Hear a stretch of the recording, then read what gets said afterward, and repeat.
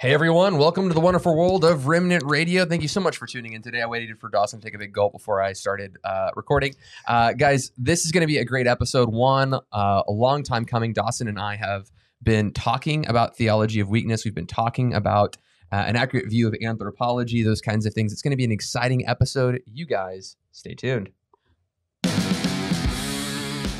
You are watching The Remnant Radio, a crowd-funded show where we interview pastors, teachers, historians, and theologians from different churches and denominations. My name is Joshua Lewis, and this is my co-host Michael Rowntree. Together, we want to help you break outside of your theological echo chambers. If you're interested in learning about history, theology, or the gifts of the Spirit, this is the show for you. Guys, I'm very excited. Like I said, theology of weakness is something that, man, isn't talked about enough. Uh, but before we dive into our subject matter, I want to encourage you guys to check out ways to support the ministry. If you aren't supporting the ministry right now, just remember we're entirely crowd funded. There are links in the description, both on PayPal and Patreon, where you can help uh, support the ministry. One time gift uh, on PayPal or a continual gift as low as five bucks a month on Patreon helps us keep the lights on.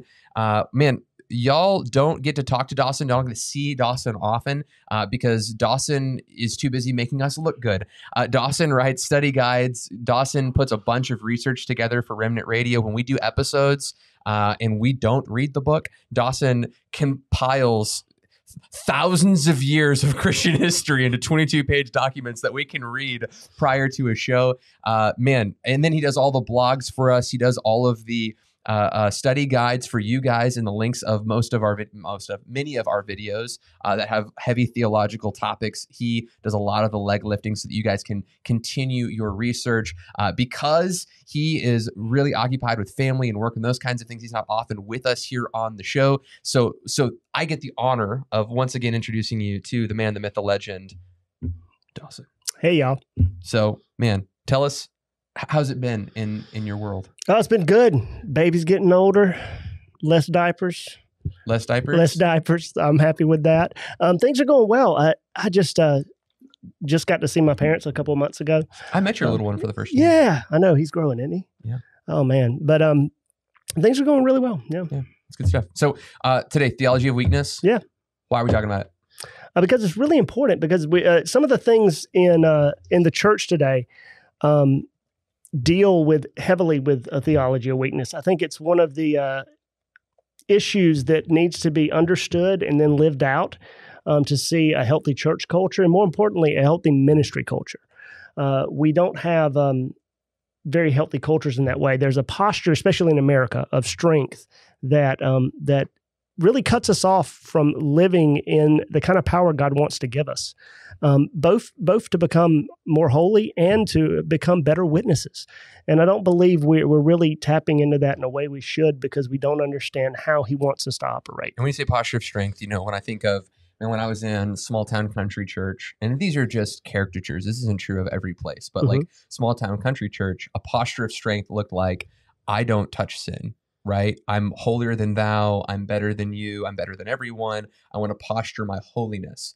And bigger, I don't do the five the five things. I don't yeah. drink or chew or go with girls who do. Exactly. I mean, three. I don't know the the gold, the girls, the glory. You know, I'm better. That that kind of like holiness thing. Right? Exactly. But but in the bigger metropolitan areas, like this posture of strength is, I want to be leading the church in pastoral ministry or discipleship or something. Yeah. So I've actually got to posture myself and pretend like I am the authority on all things academic, or I have to mm-hmm. I have to flex on my strength. Maybe there's some morality there as well, but I've also got to to to flex on. Uh, man, I've got everything in order. My my family's always put together. My my home is always put together. My car is always put together. And even though it's not that way, I'm trying to create this appearance that mm-hmm. I'm a good and strong leader. That's what posturing strength looks like in my context. Can you think of posturing of strength in different contents where people are trying to make themselves more than they are. And what you're getting at is is those issues of those issues of uh you in posturing, you're presenting something that isn't really there.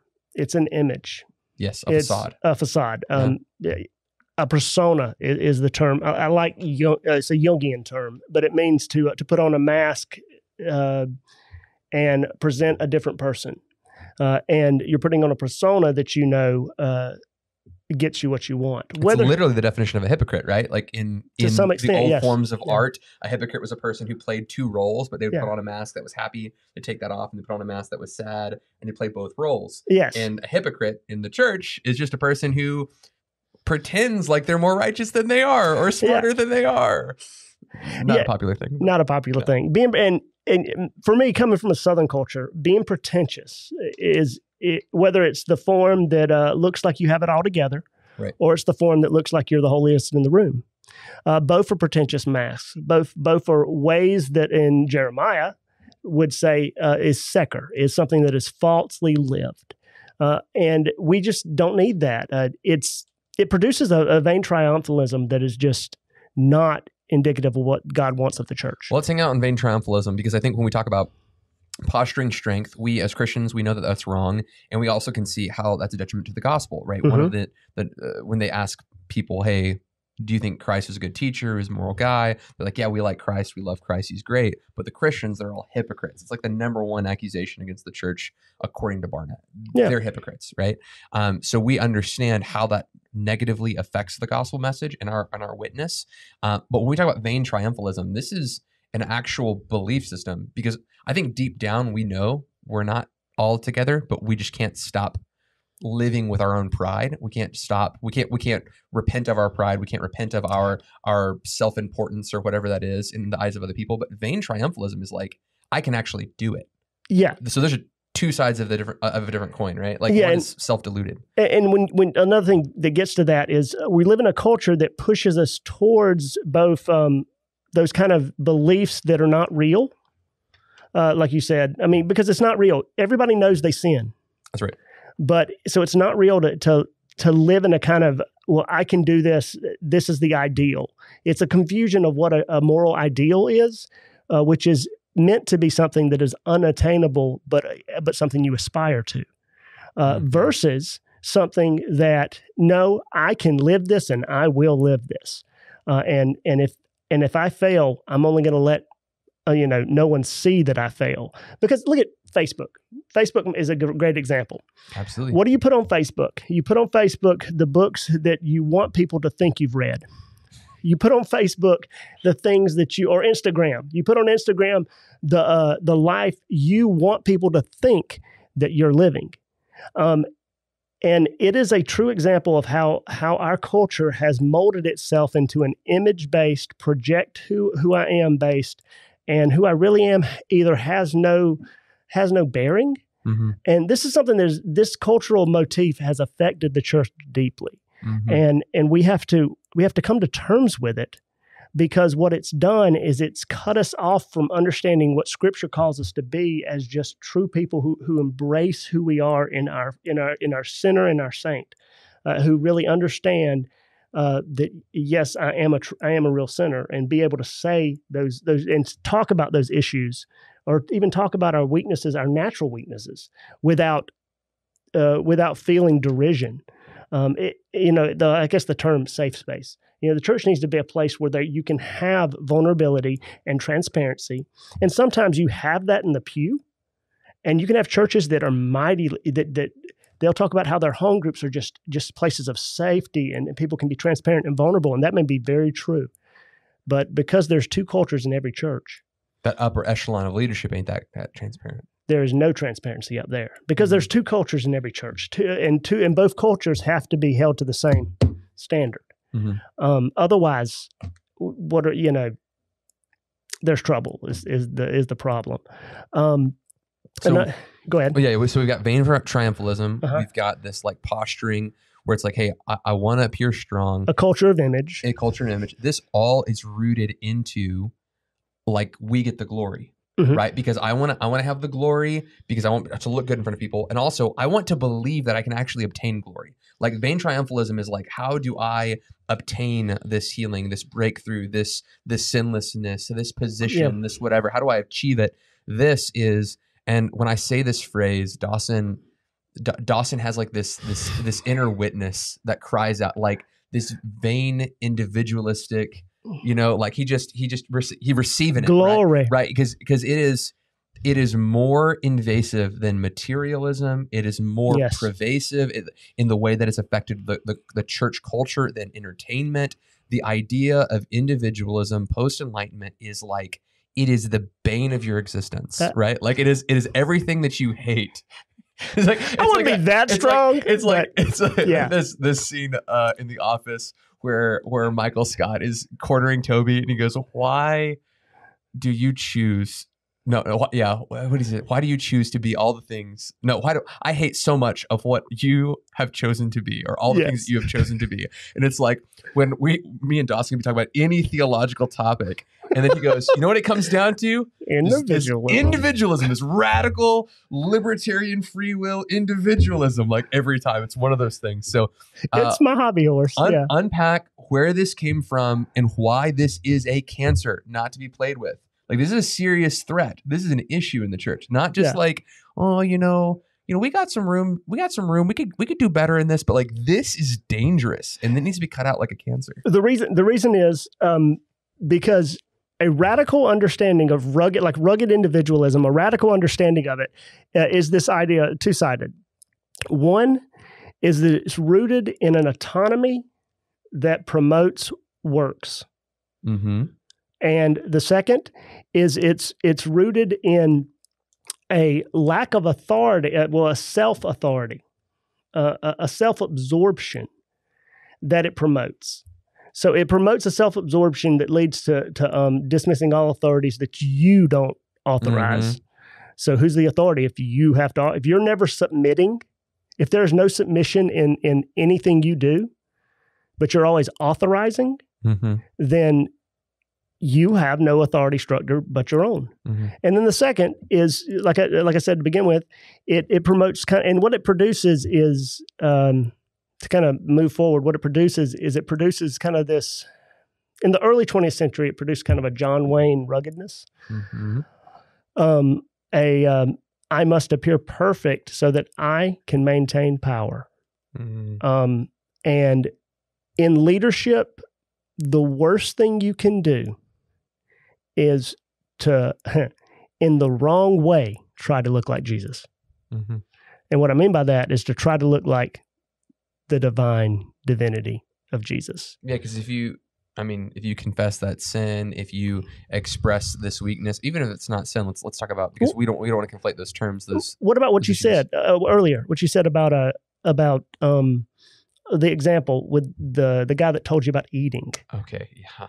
So uh, I cannot confirm or deny where this took place, just because of the sensitiveness of the. Because I'm throwing this guy under the bus if I mentioned uh, who they were.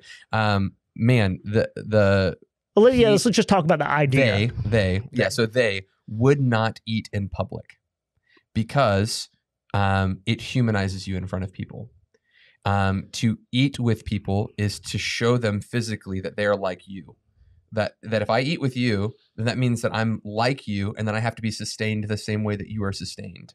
But to have this image of um, strength, you, you must have to be self sufficient Mhm. right? So I'm literally hearing an individual explain to me why they don't eat in public and they don't eat in the naked eye. And like uh, we were confronting this person who's really, like, I don't know, you know, like you eat, right? Like what's like why is it that, you know, we've been working with you for years and you're not eating? Well, I know that you know that I'm human, right? But they had been trained in leadership not to eat in front of people because other people would perceive them as weak. Don't let them don't let them see you use the bathroom. Don't let them see you eat because those are the two things that humans do. I mean, I'm interpreting. They didn't say that directly. Yeah. But, but it's like those are the two things that humans do. And you've got to posture yourself as God. You know, that's how I interpret that. And here's nuts. here's the thing. That may be an extreme example, but that's a lot. If you read any kind of leadership books, that's a lot of the same in in in simpler terms. It's a lot of the same stuff that you have that you have in these books. So with with a lot of those uh, leadership books, when they posture this, it, it- individualism has so perve- uh, kind of permeated that that it's caused uh, a whole industry um, of of arrogant, assertive. Uh, even from the time my my dad could remember times uh, in in his classes, this talking in the seventies, when they were teaching them how to be CEOs of their church, and and that's been taught you know near 20 years and i feel like the tide is starting to turn hmm in terms of leadership but um the one thing all this material leaves out is a theology of weakness because of what you just said because honestly it's people want to in 20th century america people want to follow something You know how many videos there are on YouTube of like how Trump shakes hands? Mm. Like they're teaching you, like pull the person in, put their hand sideways, look at this domineering personality, and they're teaching it as if it's a good Christian ethic. And again, Yeah. this isn't to say good Trump, bad Trump. Like I'm not, I'm not trying to fight this guy or or the, the political parties that are out there, but that this guy postures himself in a domineering sense of authority, like he's taking that authority, he's taking charge. That is not a Christian position. That is not a Christian thing to do. Our position is one of weakness. We're not trying to lord authority, exercise authority. I know I'm getting ahead of ourselves, but like ours is to be weak and not to posture strength. I've got a, I've got an example of that myself. Um, many years ago, we're talking about 19, oh no two thousand two. Okay. Um, I had just graduated college. They had a new campus minister come in, and somebody in passing had told me about this um, alpha beta guy thing about ha- uh, handshaking. Oh, yeah, yeah. the the first this. first per, first person to let go of a handshake uh, is Mhm. the beta, uh, and and it's a it's a battle Mhm. and this guy had been giving some of my friends some some uh, grief, and he was kind of a, a an assertive personality. So I went to shake his hand when I first met him, and we shook. And I thought to myself, I'm not going to let go. We shook for over 30 seconds, and I finally was like, you know what?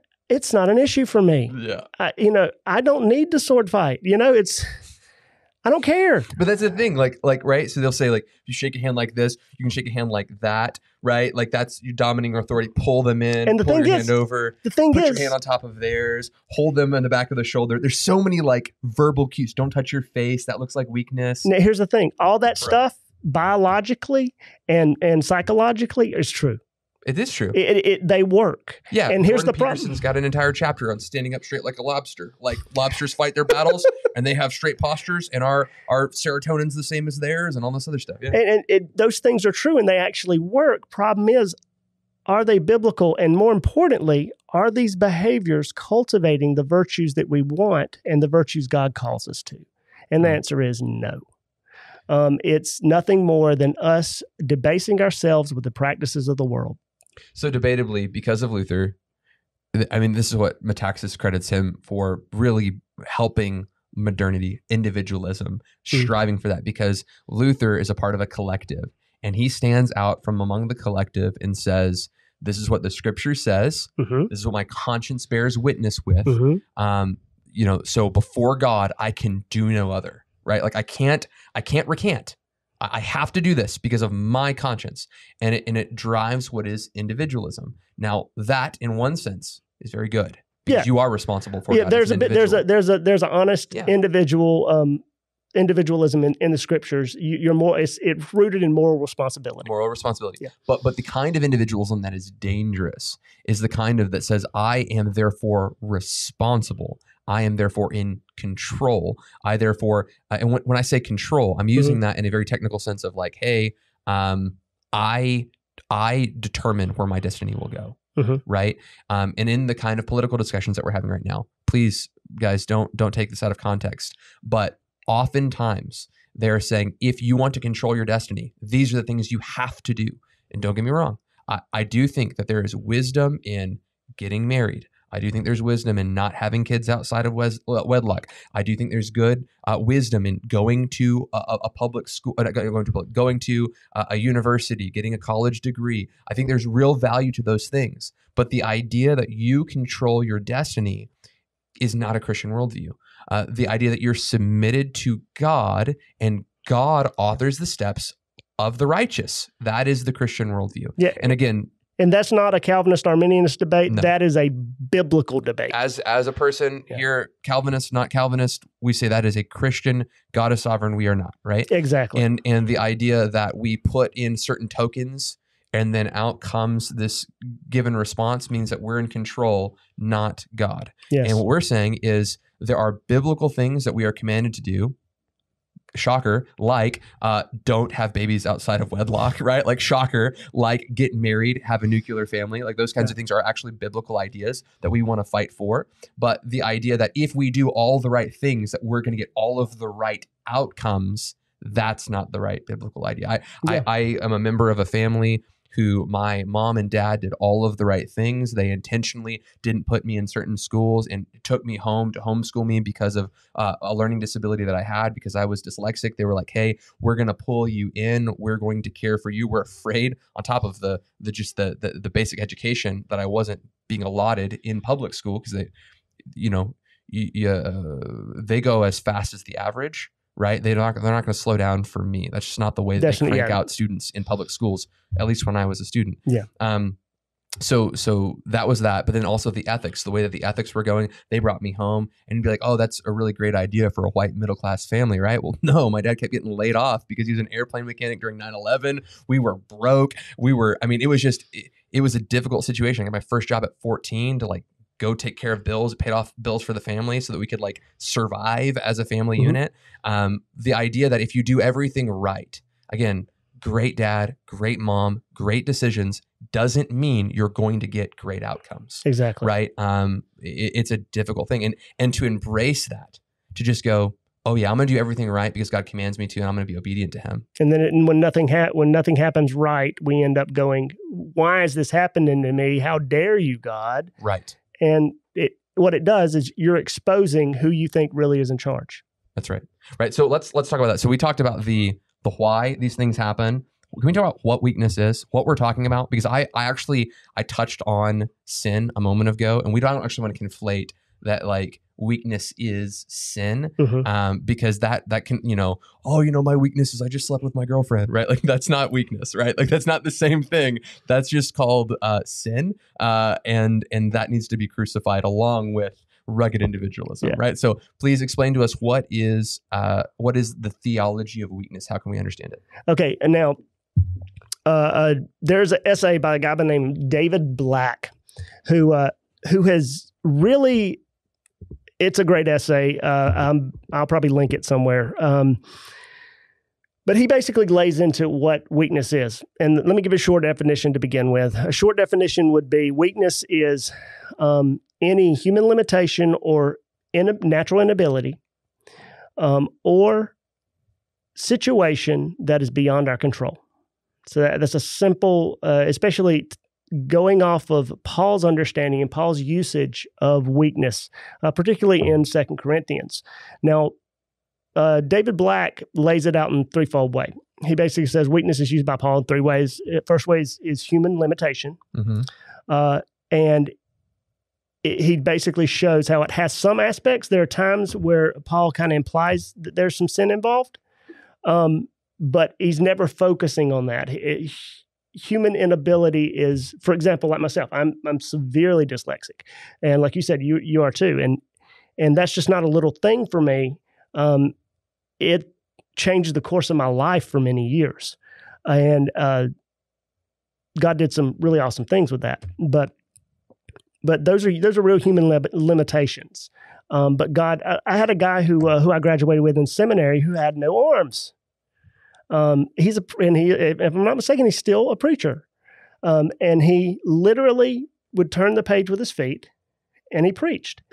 Um, you know, you would say that's kind of strange, but I can tell you right now, just watching someone with the courage to stand up there and preach about about God's wholeness, how He makes all things whole, um, is powerful.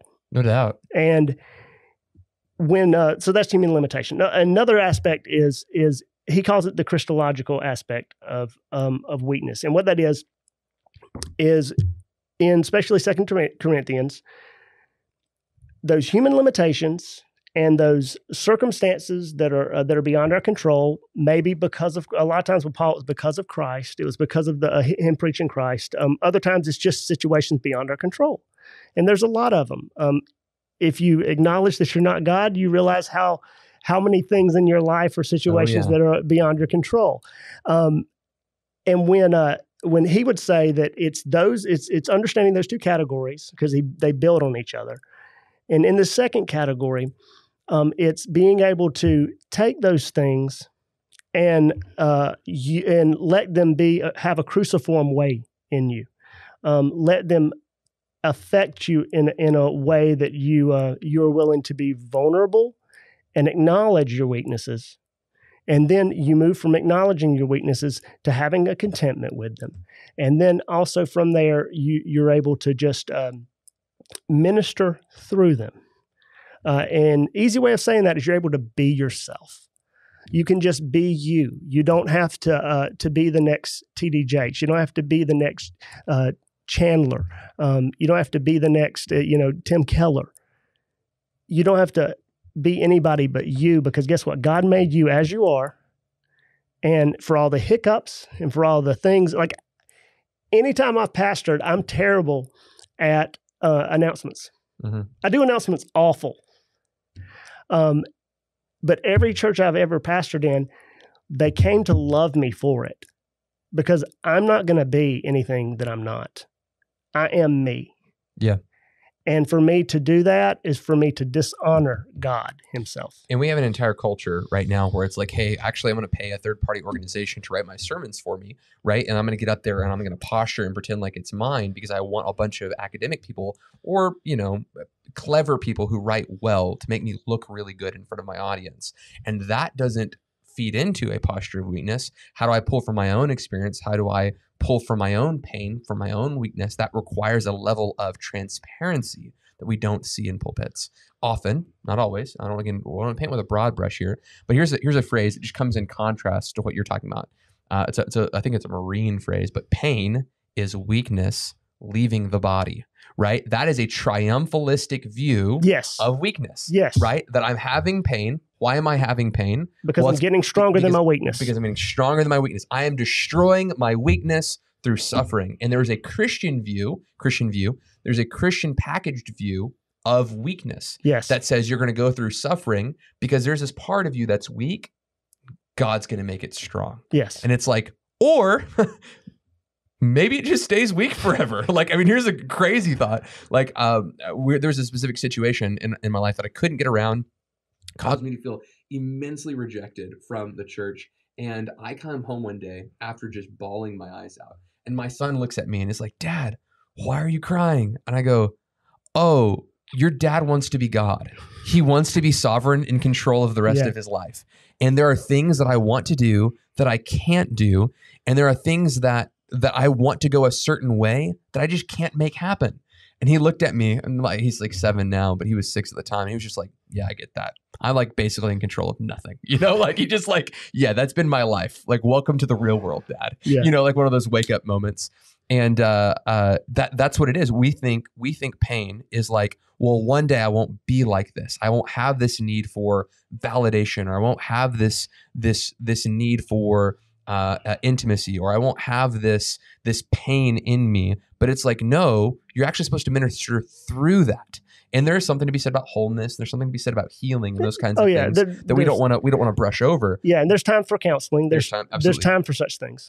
Yeah, but we don't want to, at the same token, um, minimize weakness as if it's something to be conquered, but as something to be embraced as a Christian thing. So, um, and I, I kind of gave a story back into that. You talked about your dyslexia. I mean, you, you want to unpack for us a little bit how this has affected you and how a theology of weakness is something that that you've been embracing, you've been walking through. Okay. Um. Yeah. A good way Unless, to. I, unless we touched on something too briefly that you want to no, no, no, no. Um. Probably uh, to give you a little bit of that story. I've written. I've written about it. That's right. in a That's very blog. good. Um. Link here. well, with me, I was diagnosed uh, when I was in the second grade, and that diagnosis ended up uh, put me on a path where I was kind of the the I was I was I was kind of an athlete, but I was just enough of an athlete uh, for people to take notice and uh, to turn a blind eye to my inability to read. Uh, but luckily, through Providence, I was in a place where they could help me. And up until the eighth grade, I was getting I didn't I didn't have a free summer. I was going to to reading camps and uh, all, all through middle school up into the eighth grade. And even then, I only got to where I was reading on eighth grade level. Um, and all through high school, I got socially promoted because, well, that's what you do when you want to make sure, you know, the guys are playing football. So at the end of the day, and and I'm shorthanded. I mean, there's some people who who really helped, just to be clear. Uh, but when I got into college, they did a test on me and they found out I was only reading it on an eighth grade level. Um, but I wasn't a Christian. Came Christian and fell in love with the Bible. Uh, read it phrase by phrase, devoured it, loved it. Um, and God met me in my weakness. Um, and I still, uh, to this day, uh, there's no way I can it, to talk about it. it. Just it feels humbling. It's to to know that after a year of just reading the Bible, during that time after I was tested, I had to be tested again. And when they tested me again, I was reading uh, on a college freshman level. Um, and that was the power of God working because I can tell you right now, I still read the same. Yeah. It still is hard, but for some reason, um, God has helped me. Yeah. Uh, and there's days where my wife always tells me that when I when I when I'm preaching, she can tell the her her little cue for when God shows up is the way I read the text changes. Um, and I, I mean, it's really true.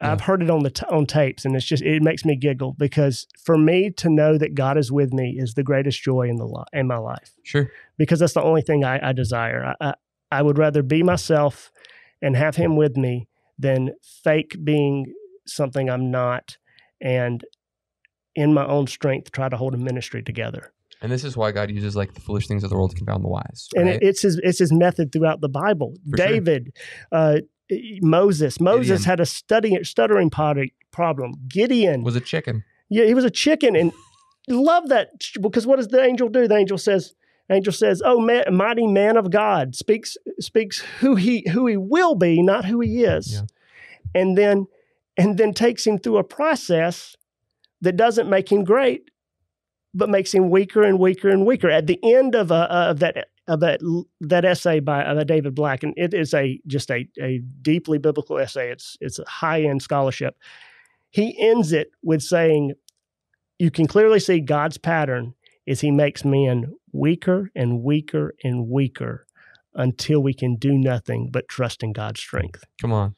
And, and okay, so but so, but we want to on tail ends of that. There are there's an entire culture of Christianity that says, "Hey, we're not going to call things that they are." right? There are things that we perceive we perceive they struggle with this, but we're not going to talk about that. We're not mm-hmm. going to address that issue. We're just going to keep talking. Oh, I just, you're just so righteous. You're just so holy. That cheated on their wife three times, right? Like mm-hmm. we don't want to pretend with that token there is a sovereign God who's outside of the universe who can see a situation and what it's going to be, and then call the thing that's not right. Yes. Yeah. We don't get to go. Oh, you're an adulterer. Well, I see that God just says that you're righteous and holy. It's like, yeah, you still yes. you still got to get you still got to deal with your you ability gotta, to. You still got to clean it up. Keep your pants. And part up. of part of counseling is is really seeing things as they yes. are, so that you can hit, you can hit them face on. Yes. Part of the theology of your weakness is having an honest assessment of where Who we're at are. right now. Um, you know, really, what this again this posturing is is to look at who we are and pretend like we're not. Mm-hmm. And we can't, under the guise of faith, say, "Oh, I'm not."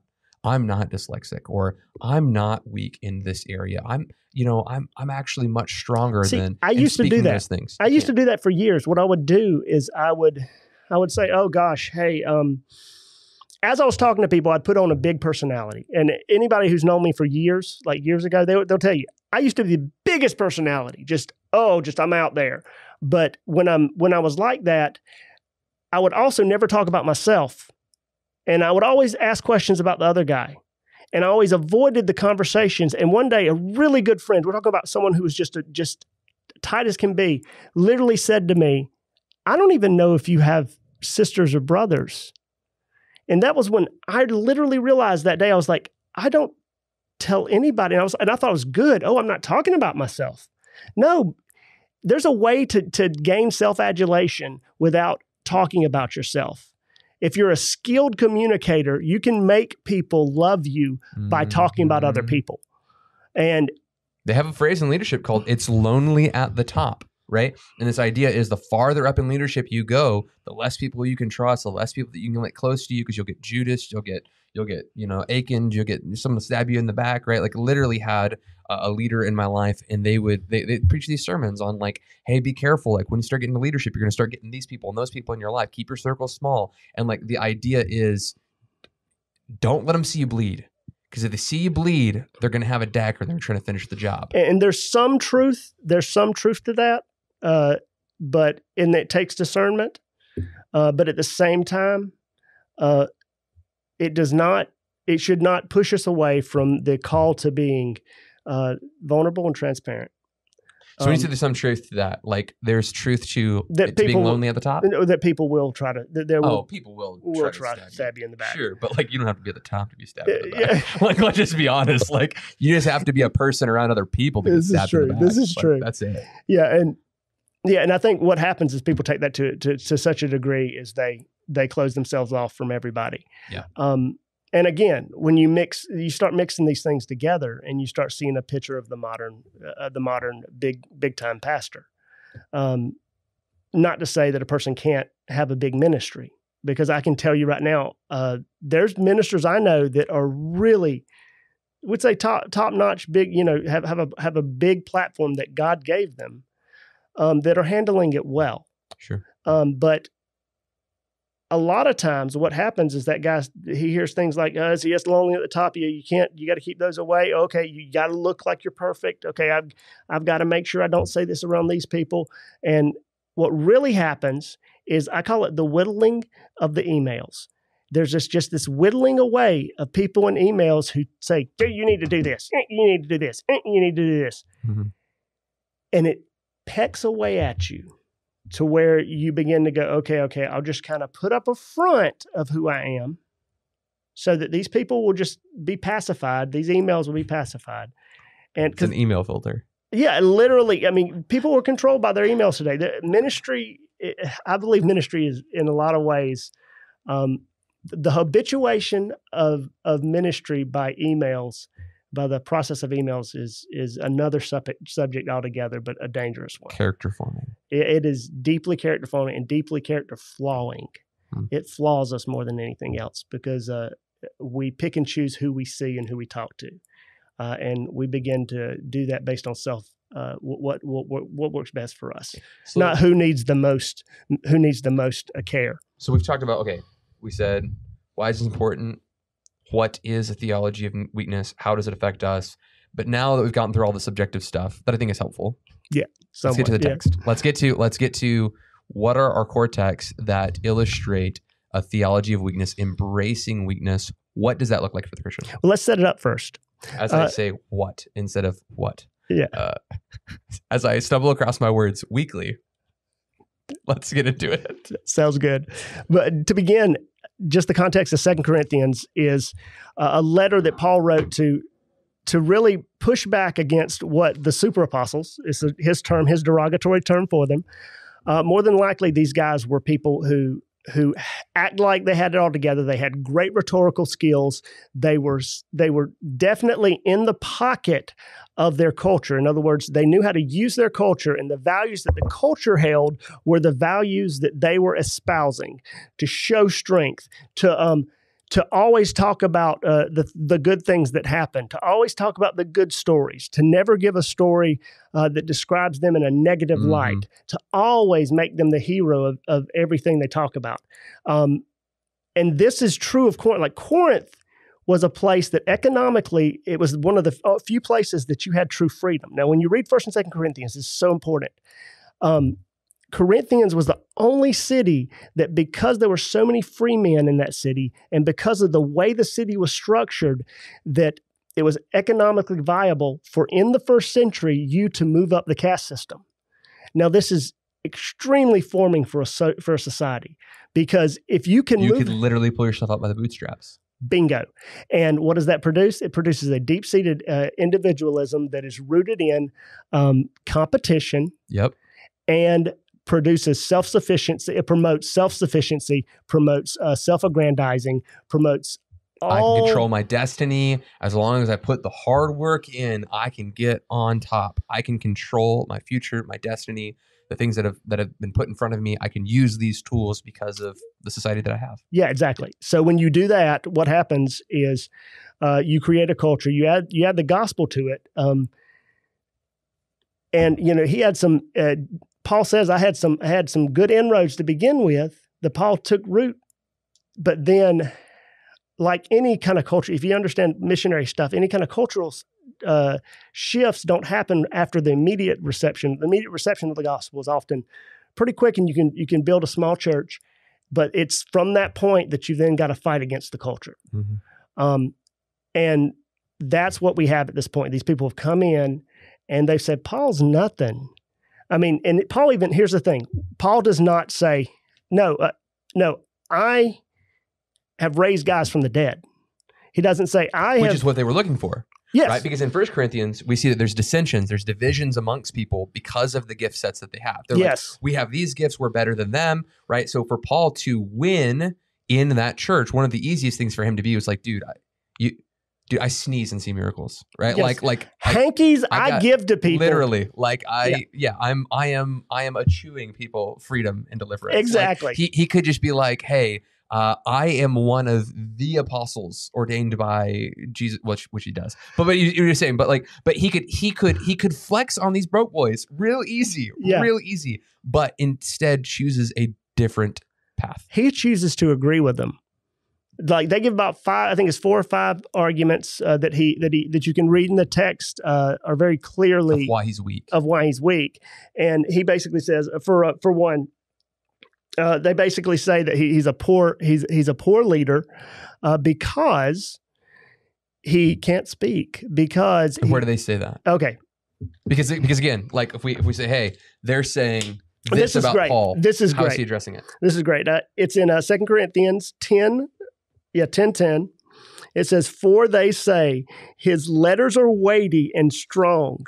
Now, they're saying this about Paul. They're saying, yeah, he, he brings it in his letters.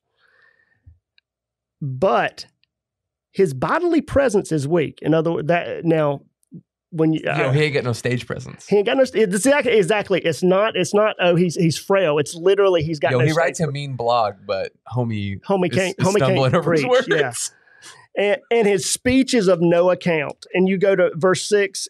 Uh, here's Paul's response: Even if I am unskilled in speaking, Verse six of uh, 10? 11, of 11. 11. Yeah, yeah, yeah, yeah, he says in the first part, even if I am unskilled in speaking, he literally says, even if I am unskilled, he So says he owns it. he owns it. He says so Uh, because he can say that What you gonna because in in weakness, because he knew the secret to all this. Yeah. That in his weakness, if he admitted it, acknowledged it, owned it, he was himself. He then could have the power of God. He's we'll have a story in Acts Yeah. of him literally preaching so poorly, a guy falls asleep, falls out of the window, and dies. He killed a guy preaching. It, br- it brings an entire different meaning to he was slaying it in that sermon. Oh, I mean, it's oh just he just he he murdered it, man. yeah, he, just- murdered it. Crazy sermon. You know, but what was he able to do? Not he himself by any Right. means. He didn't do it. He didn't do a thing, but ask God. He went down, laid hands on the guy, rose the guy from the dead.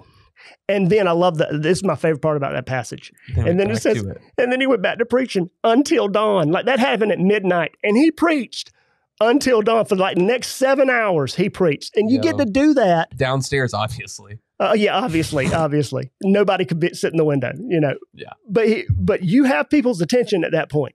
Yeah, Um, and they wanted him to tell stories. Honestly, here's the thing: they wanted him to tell stories like that because it would those have are simulated Corinth. that, that would have stimulated core. That's why he. That's why he avoids it. Mhm. It's why what we'll see later why he why he talks the way he does about some of his, his experiences, because he wants in the in he understands the culture, and he postures himself because he throughout the first and second uh, books of Corinth, both books, he postures himself through a theology of the cross.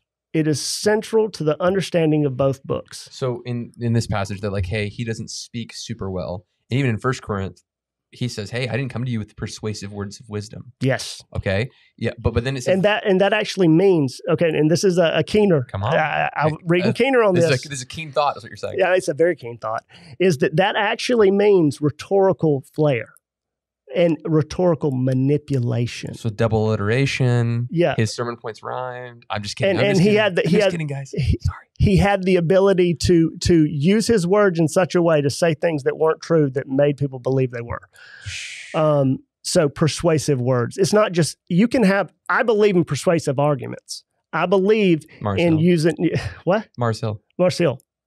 Oh. Paul did a I persuasive was argument. thinking. I was thinking of the church. I was like, oh. oh, we're going there, right? It's like it's like wow, Uh, Wow. we are going there. This is a quick. I mean, whiplash. That was so quick. No, I meant I mean in the Bible, the Okay, Bible good. version. yeah, go. exactly. Like he believes in persuasive arguments, um, and I don't believe that the reason the reason he he focused on he said I preach Christ crucified in First Corinthians is because is because he he failed at Athens. Mhm. Uh, no, no, no. I don't I don't hold to that. But what I do believe is that that he he learned that in the culture of Corinth, for him to to preach um, like he did in Athens would have not been good. Right. Um, because there are times you can appeal to the cultural motif without without offending the gospel, and then it, but in places like Corinth, if he had done that, like the super apostles did, he would have he would have produced um, a people that would have not been able to grow in the gospel. So you, you made a statement that that he didn't go on telling these stories where it was like, hey. Uh, I'm gonna double down. I'm gonna really aggressively tell the story about where I raised this dude from the dead, or where I'm passing out hankies everywhere and everyone's getting healed. You Yeah. know, get you a hanky. You know, but in this passage it says he did come with a demonstration of power. Explain to me what demonstration of power is, because again, my context, my background, right, the Pentecostals that I that I came from, the, the, the way we posture is like he went to Athens and he preached at hearty, intellectually, theologically correct sermon with all of his apologetics, and few were saved there. But then he came with the power, right? Like this, literally, Uh-huh. like charismania. Like when when he came with that, Uh-huh. then many were saved, right? Uh, so that kind of seems to fly in the face against what you just told me that he wasn't posturing, that he was spiritually, what's the word? Spiritually, uh, I don't know, affluent. Manifestations took place all the way, all everywhere around him. So, what was the demonstration of power in First Corinthians? Well, I mean, you can have a demonstration of power. I mean that that that's a God thing. That's not something you Ah, produce. so he wasn't. He wasn't. He wasn't posturing, telling the stories. He was just displaying it. he was just displaying it, he, and he literally said, uh, I'm, "This is what what does he say? The, one of his arguments against the super apostles is what is the marks of an apostle? Mhm. Signs, wonders, and miracles. Mhm. Literally, uh, in ch- in the chapter thirteen, that uh, in chapter thirteen, that's what he basically lays out as one of the signs. So, so that's that's and what he's doing there is he's referring back to to those moments, more than likely in Corinth when he was either preaching and uh, but that term for power to get back to that actual question Mhm. that term for power uh, it has a broad meaning can mean because what is the most powerful thing that can ever happen is the conversion of a soul Sure. so so and, and everybody goes groans at that point because no one wants to really believe that but it's true Right. so at the end of the day you need to hang out with a Calvinist. You'll figure it out.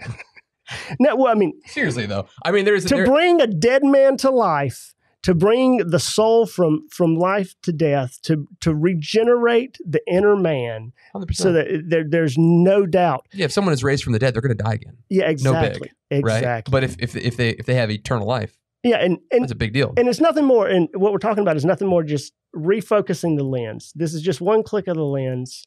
This doesn't mean you give up those things. I'm I like i want to i pray for those. I, I sure, sure, sure. run Yeah. for those things as hard as possible but you never leave focus uh, of what paul says is central and that's and when when he talks about the cross you know he preached the uh, christ crucified. It doesn't mean he just said christ was crucified because guess what? In the story in athens he preached christ crucified if I recall correctly, the very next chapter after he said, "I didn't come to you with the persuasive words of wisdom," Uh-huh. right? I think the persuasive words is the one that you say like lofty or whatever. Later on in chapter two, I believe, if I'm maybe it's chapter three, I forget. The, the and it's also chapter- style like what he's getting at is their style right? He he then says, "I wanted to come with you to you with wisdom, but you couldn't handle it." Right. So there's So also like a spiritual you- ma- maturity of like, hey, there was a demonstration of power, absolutely, uh-huh. but because you couldn't handle the theological acronym that I wanted to give you, right? So it, it does seem like there was like knowledge, and again, you, feel free to correct me. And then the way that that knowledge was communicated. But then he's saying, but I couldn't give you just the knowledge because you weren't old enough, you weren't mature enough, you weren't spiritually aware enough to handle what I meant to give to you. Yeah, he, had to give meet them uh, because, like, anytime you're evangelizing, you meet somebody where they are. That's right. um, and you have to kind of see where their terms are, and then yeah, here, here's the biblical term of that. Now let me move you to here. Um, Okay, so I've gotten you way off track, Dawson. Yeah, Because we, we were we were talking totally. about okay, the super apostles were like, Yeah. hey, I was just setting the context. this is this is this is the first the first stance was dude's not a good preacher. yeah, and right? he, they have he's, four though. Yeah, and the basic he does he's not good with his time. He's not good with uh, time management. He can't be trusted. He because basically he said at one point, "Hey, I'm going to be there at this time," and he Couldn't be there. and he couldn't be there. Um, the sec- next one was he's not good with money. Every pastor said amen. Yeah, I know, right, right. you do not know how hard it is sometimes. But then the other one is like, um, I, I think off the top of my head, it's it has to do with mo- it has to do with money. Uh, that that he's he never took. Okay, there's a thing called the Patr- uh, Patreon. hmm Is is a Hey, hey, hey, hey, be careful. I'm just trying to make my it's so good. ironic that they named it be Patreon careful. Careful. I'm just kidding. Go ahead. because what patrons what, in in in in in the time of uh, of the Cor- or the Corinthian letters, a patron was someone who gave you money uh, because they liked your speaking and they let you speak Or your art. or your art or Yeah. anything. Um, eh, for the philosophers and the and the sophists is what it, what it Because that don't pay good. Like you don't just get to walk around and be like, "Hey, I've been philosophizing about how the way the but they universe didn't. works." But they didn't expect you to. They didn't. It was not. If you were that kind of guy, Mhm. well, you were. What was your job? My job is to speak. That's right. So, what do you do well? I speak. hmm Okay, I will fund you to do that if you'll come over to my house on Tuesday and and and you entertain us with a good speech. Um, and they had people who would do that. And now it was for those for that for that group for the sophists for for that group of people, especially in Corinth. It was both an entertainment for the rich, and more importantly, uh, those people did not work for their own money. That was how they earned their living. So for someone to say, nah, "I'm not going to take any money from you," hmm I'm actually going to work as a tent maker in the market was a you don't love us because if if you loved us you would take our money and the second thing is he's saying i'm going to go be an auto mechanic is the basic thing he's, he's saying i'm going to go do something some menial labor that's not going to get me nearly as much money Mhm. but i'm going to go do that on the side while I, I, I I will we'll, we'll, on Sunday we'll talk about Christ. So he's doing everything he can to posture himself against this culture that's very toxic. Mm. Um, and then by the time we get to you know get to the to to chapter uh, uh, thirteen, chapter twelve. Um, he's run through those arguments. I like to call Second Corinthians uh, Jesus's one two um Jesus's uh, Paul's one two punch. So it, he he gives a jab at the beginning. He talks about ministry and the kingdom, and then the from ten to thirteen is like this uppercut where he just he lays into the sarcasm. He lays heavy into his argument. Uh, uh, I mean, it's it's like oh, this man's speaking my love language, and it's it's glorious because he's like they're like they're like you're you're slow. You're you're even not. You don't even look right. I mean, they actually literally say he, you know, that he's You that don't he's you don't wear the skinny jeans. You don't have the smoke machine. Yeah. You're not clever with your illustrations, your And- applications. and of course your- there's a fine line there because there's times where we need where paul's also like hey there's times you need to be Sure, sure, sure. you need to um you need to You be need to wear skinny jeans. need to be all things to all men there are times that you need to be all things to all men Look, skinny jeans are never a part of that situation. Yeah. in my opinion. skinny I gotta get out the skinny jean thing. Skin, let's just go ahead and say it skinny jeans are not biblical moving on Yeah, there we go. Done said. so at the end okay at the end when we get in when we get into this understanding of weakness we want to uh, we want to hit the the root of it is paul's point is that all christians ministry or not in ministry but we're going to focus in on on ministry aspect for Yeah. just a second um in chapter 13 he begins to uh he begins to basically say that the paradigm he, he shows at that point the paradigm for ministry. And the paradigm for ministry for paul um, is very because of his structure because he, he's coming from a theology of the cross he's bringing that in and he then sits it he, he sits it down and, and uh, to understand theology of the cross, Luther really articulated Paul's theology of the cross really well, and it's it, it, there'll be a study guide for this. Uh, so we'll we'll shortchange it, but the basic gist is that in the cross you see you you see the truest picture of God. Mhm. That's one aspect, and also Paul, especially in the Corinthian letters, goes on to show that in the cross you see the pattern for the Christian life. This is also in Mark. Mark is another place you see it. Uh, Mark is a great example of of how um, you see a picture of Jesus that also implies uh, we need to be as, as self sacrificial and as self serving as he is. In in this picture in Paul, we see as verse uh, 4, 13, 4. For he was crucified in weakness, but lives by the power of God. Have you ever thought Jesus is Jesus is a weak God? Talk about a statement that doesn't run run right. But it's a true statement of him on the cross. Mhm. And is that the truest picture of God? Hmm. It is for a desperate humanity that knows their own failings and fa- failures. Um, it is an off- eh, what does it say to the to the Hebrew for the Greeks? It was offensive. Why was it offensive for the Greeks? Because they would see. eh, Wait a minute. You're telling me this person who died on a cross, weakness and suffering and shame of a cross, I'm supposed to worship?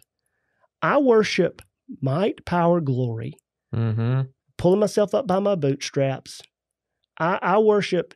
I worship winning in the end. Mm-hmm. Every one of my movies better end well. Started at the bottom, now I'm here. Yeah and and there's nothing wrong with with a good. Uh, I love them just as much as the Yeah. next day. Everyone wants to remember the Titans. It's Yeah, great. exactly. Classic. There's always times to be inspired that way. But what are we getting at here? Is this is the paradigm for how we live our life as well as ministry? Is that you're someone who like God Himself, deity, Jesus, not just in His humanity, but He was crucified because He's a whole being. You know, you, I'll let you. I'll let you parse that. Well, there's so many things again that that, that fights that fights out with our worldview with Yeah. that with that concept is that Jesus did all the right things. We talked about this at the top. You do all the right things, you get the right outcome. Not always. He did the right thing, Yes. and he was crucified. Yes. Okay, and the Bible says they're going to hate us Yes. because we did the right things. Yes. Uh, like like destruction right Mhm. so again this this idea that we are the arbiters of our destiny we are the captain of our soul uh we are the, as imagine dragons would say the lightning before the thunder right like we we we are we we are the like that's just the afterglow right like i'm i am blazing the trail i'm i am i am the captain of my of my destiny this idea is so western Yes. right? And don't get me wrong, there is personal responsibility that I love that we need to back, that we need to be we need to say, hey, that's a biblical, that's a biblical thing. But the idea that we can control our destiny through personal responsibility is a lie. It's a facade. It's the Western facade. And I want to push. I'm going to push. Most pastors, most Christians are going to say they agree with you on that. Mhm. And if I can just say this to you, that's not what you really believe if you just look at your behavior. Because at times we will live from a center where, like I said earlier, you know, Jesus, uh, A.W. Tozer quote, there's, there's a cross and a um, throne in every man's heart. And Jesus is either on the cross and we're on the throne, or we're on the cross and Jesus is on the throne. And only Mhm. the second is true. And there's a place where we have to recognize that we may not agree with that intellectually, but how are we how are we living our life? How what what does our life image on a day-to-day basis? So he's crucified in weakness, but he lives by the power of God. Now, this is the paradigm for ministry crucifixion and resurrection. It's this, you see it in, in First Peter as well, that, that the paradigm for ministry is a ministry that walks in the crucifixion of Christ to experience the, the resurrection power of God. Now, when I say resurrection power of God, I mean that in the broadest terms possible. Hmm. Uh, guess what? our cessationist brothers can walk in that same resurrection right. power. Hundred percent. They can walk in that same resurrection power because God is converting souls left and right. You know, you- you're talking to an ex-missionary here, so I'm going to talk about people people coming to know Christ because I got my categories blown when I was just hanging out with Muslims and they're coming to you because they're they're seeing visions of Jesus and and you know that changed changed me big time because you know it, it- honestly it makes it makes ministry a little bit easier but also a little harder because you got to really unpack the deity of Christ. It's funny. We were at we were at uh at uh, lunch having this conversation. Well, this I, I said first time I met your kid. Um, we were at lunch having this conversation about you're at church telling your testimony, how you had a vision of God, and in your vision of God, your Christian friends didn't believe you, and then you had to go to the Middle East to find a bunch of Muslims Yeah. to tell them your story, and the Muslims believed you had a vision of God. You Yeah. had to find a Muslim to believe that God revealed Himself to you. Yeah, and that's how Christians wouldn't believe. that's how I came to know Christ. That's Just pretty funny The short of it, That's yeah. classic. Um, but just uh, okay so in four and we what we have here is we have basically so he says but in dealings with you we we is paul's referring to ministers but you can refer to the whole church uh, will live with him by the power of christ in other words we are in union with jesus in that union we place ourselves in a cruciform pattern of life mhm. um, great book on this, guys. D.A. Carson's The Cross um, uh, and the Christian Ministry. A Christian minister. I can't remember if it's one or the other, but give yourself time, read that book. It is amazing Yeah. because he outlines what it means to walk that form, not just for a Christian, not just for a leader, but also for you can easily translate it to all people. Um, and what we see in our lives is the power of God begin to flow out because we're accepting our weaknesses. That's because we got to get back here real quick before we finish. In verse 12, uh, chapter 12, verse, what was it, verse 9? Nine and 10. Nine yeah, it was 9 and 10. Um, I'm just going to read it.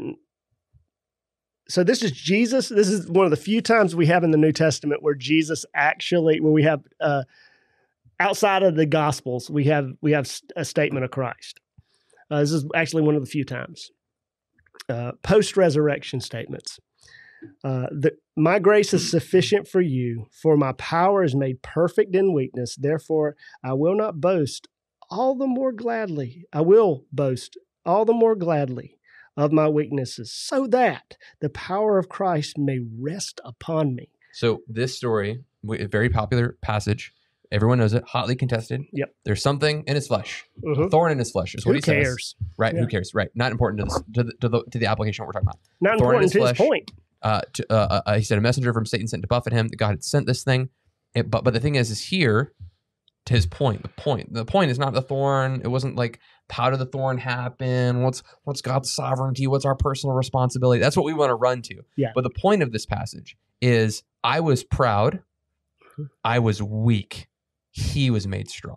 Exactly. Right. I was strong before, and I actually needed a thorn so that his power could be displayed. Uh, Well, he- it's not even even kind of broader in the full context of what he's arguing in the letter is he actually argues one of like we said about one of those power stories. Mm-hmm. He actually kind of plays into that a little bit and says, even though I'm here's my idea, and this is just me. He probably has told this story to the Corinthians before, Mhm. uh, so they kind of know it, and it, that's when he goes, I "There- know, man. I know a man, and uh, Oh, yes, yes, yes, yes. I know a Checks man." out. and this is that kind of sarcasm that is pushing back against the the it- literally it's using their tools against them. Mm-hmm. It it's it is a baller move is what it is. And he basically goes uh he goes, I know a man who, who went to the third heaven. So he's describing this great experience that is not lawful for him to tell. Yeah. And then he says, Hey, It's got the hypercharismatics watering at the mouth. Yeah. Oh, what a great story. Eh, but, but what does he say? He says, you know, first of all, I'm not, I'm not, I was not allowed to tell any, uh, to tell anything that happened. Uh, that was just for me, so I got to keep quiet about it. But on top of that, um, the Lord wanted to humble me because in my heart, the Lord knows best for us because He can see our hearts. Mhm. He He brought it. He brought me low, and He gave me a thorn because I needed to be humbled. So we ha- we can assume that, that this this experience put some pride in Paul's heart. Mhm. And it humbled him so that so that's the context. And what was the bigger context is that is that he's telling that story and he told it that way. He basically took a power story and then Flipped it on its head. flipped it on its head. Had them had them walk into that right hook, right? oh They're yeah, Like, oh yeah, so there's this power story, and then like, oh yeah, he, he did have this story. And it's like, oh, but by the way, that was just an opportunity to humble me, not an opportunity to puff me up. yeah. So it's he was not saying pride. I Yes, had pride. It was exactly. So it's not. So it's not a story um, that we are to exegete and try to figure out if healing's involved in this, et cetera. So Yeah. it's not about that. It's about he was using the story for a bigger purpose, which was which the purpose was, hey, uh, there are times that that that weakness is good. yeah. And, and what does that describe? Now, the dynamics are clear in, in the passage. The passage uh, in verse 9 is very clear. It says, Power, my power is made perfect in weakness. Mhm. So the, the the traditional interpretation of that is that the power that Christ's power is perfected is most glorified in our weakness that he gets the most glory in you when he uses us if we'll depend on him lean into him and be honest with our weaknesses phenomenal. Uh, there's a story I remember when we were in public high schools. There's this guy named Fable. His name's Mr. Fable, and he was a legend. So the name was perfect. Anyway, um, he was one of the school teachers who allowed us to have access to his his room, so we could do our like Bible studies and like home groups and stuff like that in public high school. And uh, anyway, he told me the story of his kid. And his kid came out to the car and was like, "Dad, Dad, Dad, Dad, help me! Let me help you take your books inside." And his books were in a crate. And he said his his kid was like I want to say he's like five or four or something. Like the books would have crushed him. It was so heavy.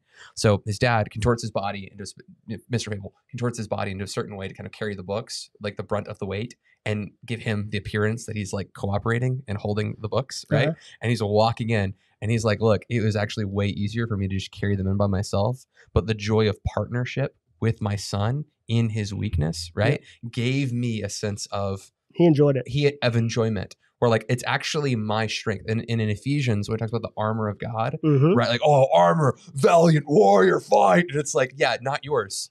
God's armor, the armor of God. And then it says, be strong in the power of his, might. not ours, not our righteousness, not Come our on now. faith, not Come our, on now. well, you know, it's it's like it's it's his. It's Yes. they, they they belong to him. They're not from us. It's extra nos. It's outside of ourselves.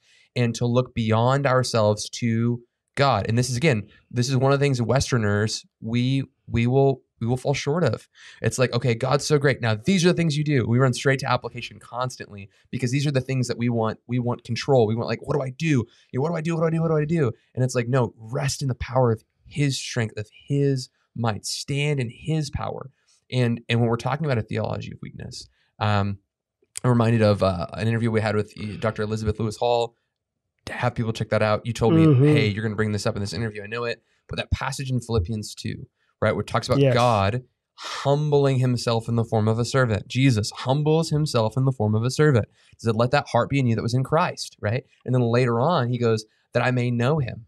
I want to know Christ in the the the what was it, the the the the power of his resurrection and the fellowship of his sufferings, right? That resurrection life that you talked about, Mhm. but the fellowship of his sufferings, that it's not um again, I, I always viewed weakness, I always viewed suffering, because I think these two terms can really be interchangeable in many ways. I always viewed those as a kind of vain triumphalistic, eventually I'll be well, eventually I'll be whole, eventually God will work this out of me.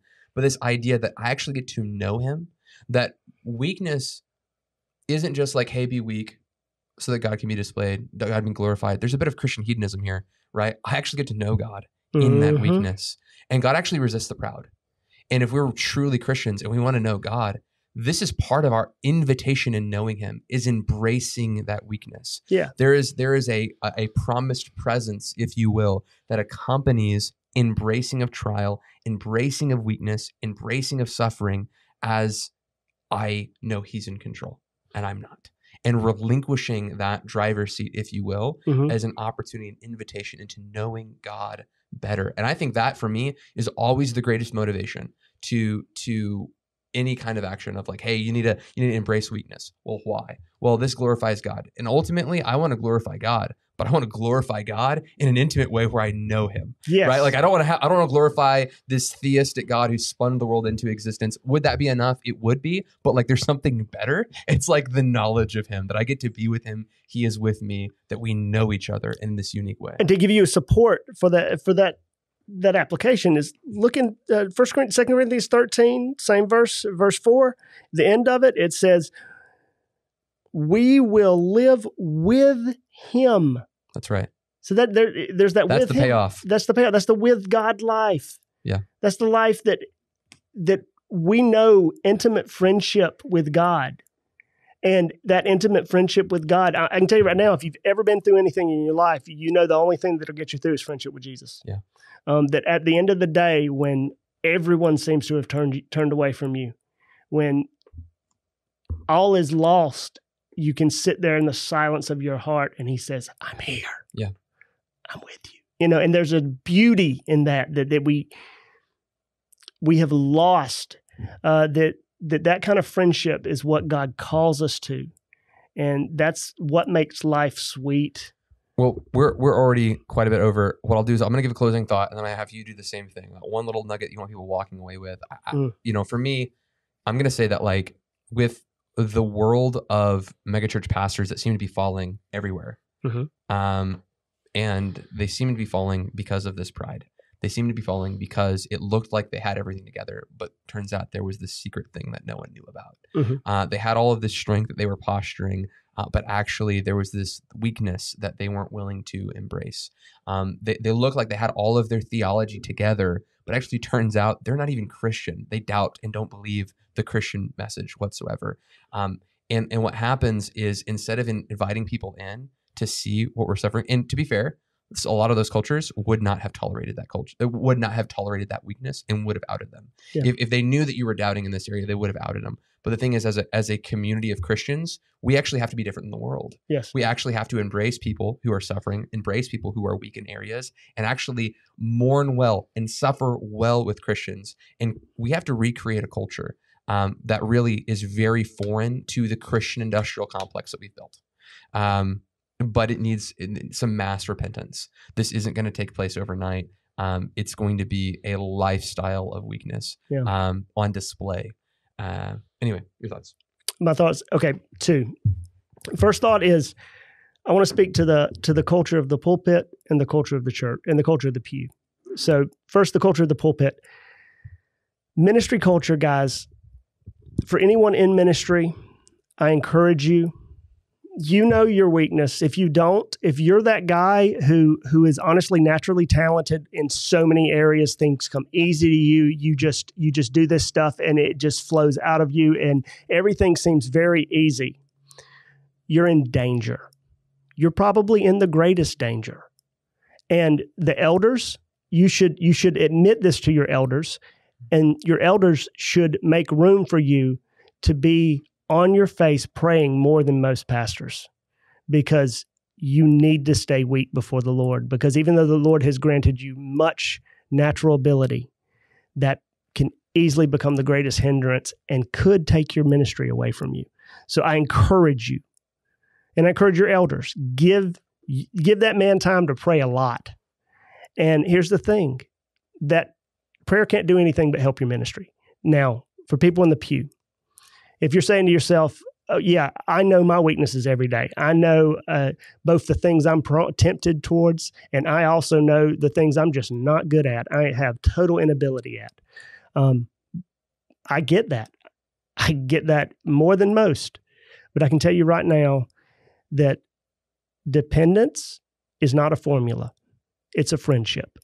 So at the end of the day, how you understand and how you work out that dependence with God, where that day to day, moment to moment life of dependence, the way that plays out in your life is between you and Jesus, and you've got to find out yourself. It's going to take personal work of knowing yourself and knowing God through the cross. And in doing that, you will come to a place where you have to be more sacrificial, where you're going to have to embrace your weaknesses. But in there, you're going to find a dependence with God that is glorious and fun. And the best part is you'll have a friendship that Josh, you will be able to go through most anything. And I believe we're coming to a day where we need to be able to go through most anything and still um, be Christian at the end of the day. That's right. I've got this quote that I'm going to pull up. Um, I'm going to pull it up. It's from D.A. Carson, which kind of outgo on this this uh, piece of homework assignment that Dawson gave me. I posted on Facebook here. Um, we increasingly, we increasingly inhabit a time and a place in Western history when humility is perceived to be a mm. sign of weakness, when weakness is taken as a vice, not a virtue, when when puff is more important than substance, when leadership, uh, even in the church, frequently has more to do with politics, pizzazz, and showmanship, or with the structure of hierarchy than with spiritual maturity, conformity, and the conformity of Jesus Christ. When the budget is thought to be more important and a more important indicator of ecclesiological success than prayerfulness, and when loose talk of spiritual experience wins an instant following, even when the talk is uh, mingled with s- scarcely concealed haughtiness uh, that has learned neither humility nor tears. That's like the opening chapter of the book that you recommended by yeah, it's good. Uh, D.A. Carson. Uh, savage, very, very well written. Uh, and, and frankly, just an apt description. Right now, we, we've got a lot to do. The, the church right now looks a lot like the world, and we've got to push back pretty hard. Um, don't get me wrong, there are a lot of things in political spaces that have a very Christocentric message, but a lot of the times, what I feel right now is that we are confusing Western political conservatism with the gospel. And I think that that as a church, we need to be Christians first. Um, that made this whole thing political. No one ever heard what we said at the beginning of it. It's a stumbling block for everyone who listened, but that's okay. Um, yeah, I, I, feel pretty conservative, so I'll, I'll, just kind of let the chips fall where they may. Anyway, uh, blessings, guys. Thank you so much for tuning in to this episode of Remnant Radio. Give give give a, a, a why don't you have Dawson more often in the comment sections for all of you that are ticked that I keep talking to Michael and Michael when this guy exists, uh, go ahead and drop that into the comments of the video. Hey, Michael, chastise Michael and Michael for uh, for you know not being this. No, I'm just kidding. Uh, but seriously though, uh, thank you so much for tuning into this episode. If you feel blessed right. by that ain't right, uh, blessed by the ministry, right blessed by Dawson, go check him out uh, on the blogs. Uh, on Remnant Radio, there's also a study guide, uh, an archive of study guides we have at the top of the website there. Uh, and in addition to that, we're entirely crowdfunded. So if you've been blessed by the ministry, you can give there on Patreon as low as five bucks a month you can That's give so ironic. Uh, to support what we're doing. If you believe in what we're doing, you want to help us. We actually want to empower more people to film with us, to yes. produce content like this. Uh, it's not cheap, it's not free, and it helps us take care of our family so yeah. that we have free time to entertain you, not to entertain you, to equip you. See, if I put the spiritual spin on it, it sounds better. I like it when I talk about it. When Dawson talks about it, it's not so good. Anyway, blessings, guys. We'll see you next time. See you. Hey guys, I hope you enjoyed that episode of Remnant Radio. Uh, if you like this video, we actually put together a playlist that has a whole bunch of content just like what is in this video. So I hope you enjoy, and if you got a little bit of extra spare time, maybe check out some of those other videos.